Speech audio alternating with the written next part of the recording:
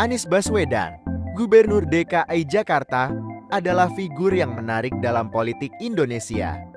Mari kita eksplorasi 5 fakta menarik tentang Anies Baswedan yang mungkin belum banyak diketahui oleh masyarakat. Anies Baswedan memiliki latar belakang pendidikan yang mengesankan. Ia meraih gelar doktor dalam bidang filsafat politik dari Universitas Ilma Amerika Serikat. Pendidikan tingginya yang beragam juga berdekat di yang perdonanya.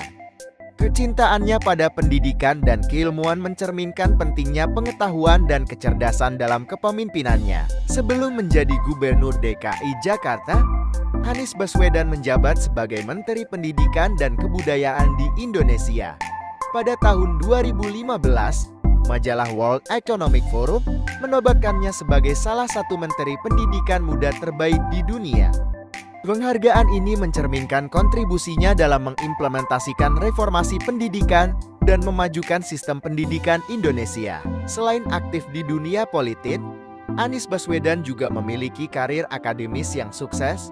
Sebelum terjun ke dunia pemerintahan, ia mengajar di berbagai perguruan tinggi ternama di Indonesia dan Amerika Serikat. Pengalamannya dalam dunia akademis menciptakan fondasi pengetahuan yang kuat yang diterapkan dalam kepemimpinannya. Anies Baswedan adalah penulis produktif dan telah menerbitkan beberapa buku.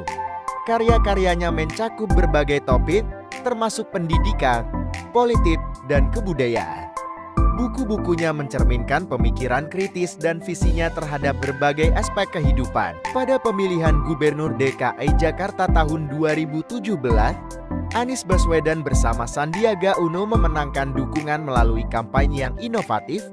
Mereka menggunakan media sosial secara efektif dan melibatkan masyarakat dengan cara yang lebih langsung, menciptakan dinamika politik yang berbeda dari yang sebelumnya. Melalui fakta-fakta ini, kita mendapatkan pandangan yang lebih lengkap tentang Anies Baswedan sebagai seorang intelektual, pemimpin, dan kontributor dalam dunia pendidikan meskipun kontroversi melingkupi kepemimpinannya.